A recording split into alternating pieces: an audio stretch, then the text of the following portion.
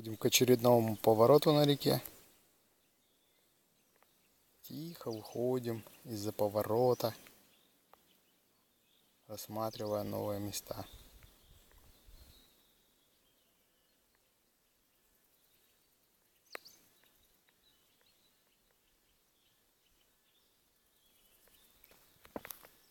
Тишина, никого нет.